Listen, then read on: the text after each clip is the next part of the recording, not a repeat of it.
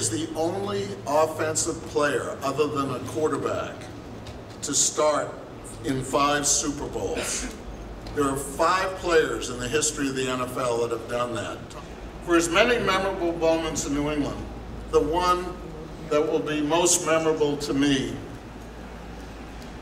is last season when Matt, his coaches, and teammates commissioned this painting by Brian Fox. And I think uh, Coach Belichick has told me that Matt took a real lead in this effort in memory of my sweetheart.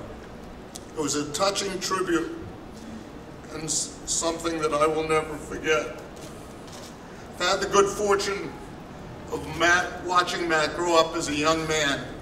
You know, his marriage to Susie, uh, it made Foxborough his home, and we hope it continues to be our home. Got a good school system, you told us here.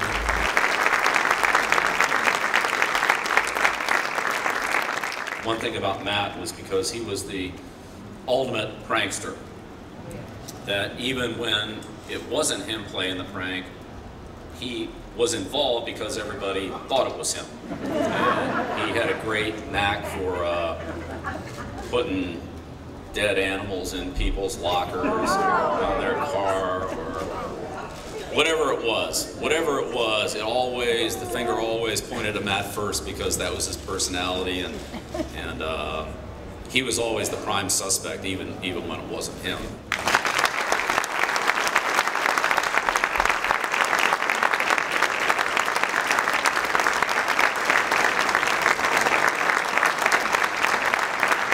And to Coach Belichick for all the demanding, just hard headedness and genius that you bring to each and every day. And even though we've had some differences in the way we look at things and all the fun and